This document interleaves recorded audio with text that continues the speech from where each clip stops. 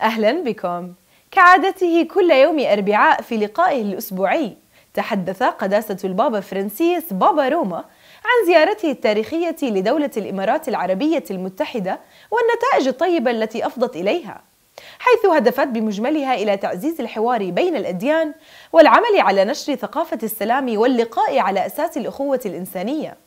إذ أنها المرة الأولى التي يزور فيها بابا الكنيسة الكاثوليكية شبه الجزيرة العربية في الذكرى المئوية الثامنة للقاء القديس فرانسيس والملك الكامل سلطان مصر. وختم قداسته رسالته بالشكر لكل من عمل على إعداد هذه الزيارة التي توجت بتوقيع وثيقة الأخوة بين جميع البشر كأبناء الله.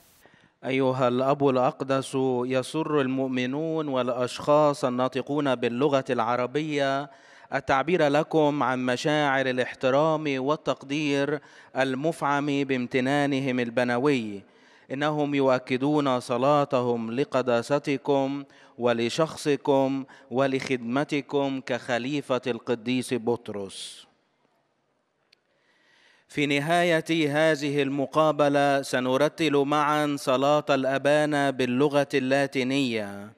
ثم سيمنح قداسة البابا البركة الرسولية لكم ولجميع أحبائكم أيضا خاصة للأطفال وللمسنين وللمرضى وللمتزوجين حديثا ولجميع الأشخاص الذين يتألمون. سيبارك كذلك الأب الأقدس المسابح والأغراض الخاصة بالتقويات التي جئتم بها لهذا الغرض. ملخص كلمة قداسة البابا. تكلم قداسة البابا عن زيارته الأخيرة القصيرة والمهمة جدا إلى دولة الإمارات العربية المتحدة واحت وأرض اللقاء بين الشرق والغرب وبين مختلف الحضارات والأديان. كانت الزيارة تهدف لتعزيز الحوار بين الأديان والعمل على نشر ثقافة السلام واللقاء على أسس الأخوة الإنسانية. إنها المرة الأولى في التاريخ التي يزور بابا الكنيسة الكاثوليكية شبه الجزيرة العربية في الذكرى المئوية الثامنة للقاء بين القديس فرانسيس والملك الكامل سلطان مصر. لذا شكر البابا صاحب السمو ولي عهد أبو ظبي رئيس الدولة ونائب الرئيس وجميع السلطات وكل شعب الإمارات على كرم ضيافتهم وحفاوة استقبالهم وعراقة أصالتهم. شكر البابا أيضا النائب الرسولي في جنوب الجزيرة العربية وجميع الذين ساهموا في إعداد هذه الزيارة وعملوا ليلا نهارا لإخراجها بهذه الصورة المشرفة. كما تقدم بشكر خاص لصديقه وأخيه فضيلة الإمام الأكبر شيخ الأزهر الشريف والذي وقع معه على وثيقة الأخوة الإنسانية التي تدعو لعيش الأخوة بين جميع البشر كأبناء لله وإدانة كل أشكال العنف واستغلال الدين والاستخدام السيء لاسم الله القدوس وتأكيد الالتزام المشترك بنشر قيم السلام والعدل والمساواة بين البشر والمواطنة وحرية الاعتقاد.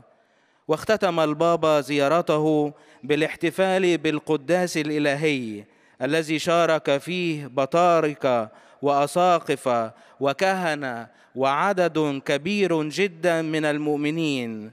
وحيث صلى الجميع من أجل السلام في سوريا وليبيا واليمن والشرق الأوسط وفي كل العالم والآن تحية البابا باللغة الإيطالية إلى أبناء الشرق الناطقين اللغة العربية Rivolgo un cordiale benvenuto ai pellegrini di lingua araba, in particolare a quelli provenienti dal Medio Oriente. Sul buon terreno degli Emirati Arabi Uniti è stato seminato il seme della fratellanza umana. Chiediamo a Dio di farlo crescere, fruttificare e diventare un albero che abbraccia tutti. Il Signore benedica tutte le persone che hanno reso questa visita apostolica possibile. أرحب بالأشخاص أرحب بالأشخاص الناطقين باللغة العربية وخاصة بالقادمين من الشرق الأوسط. على الثرى الطيب للإمارات العربية المتحدة زرعت بذرة الإخوة الإنسانية. نسأل الله أن يجعلها تنمو وتثمر وتصبح شجرة تحتضن الجميع. ليبارك الرب جميع الأشخاص الذين جعلوا هذه الزيارة الرسولية ممكنة.